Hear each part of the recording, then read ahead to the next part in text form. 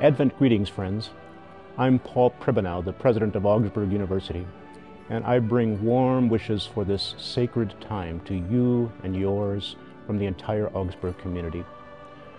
In the midst of these fraught times in our world, may these holy days ahead be the occasion for reconciliation, renewal, repair, and peace.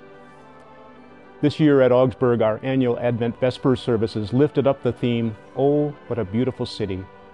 In the liturgy and music of the services, we reflected on our university's location in the midst of a major urban area, while also marking the ways in which cities are central to the biblical narrative. Cities like Bethlehem, Jerusalem, and the eternal city of God we know as paradise. At the close of the service, we received this blessing from campus pastor John Rody Schwein, which I now offer you.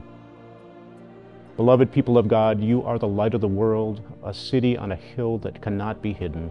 So let your light shine before others until the day when all is repaired, redeemed, and restored by the tender compassion of our God, who guides our feet in the way of peace. May God's radiant love forever shine upon you, upon our community, upon our neighborhood, and upon this holy city. Go in peace. Go in peace indeed, my friends.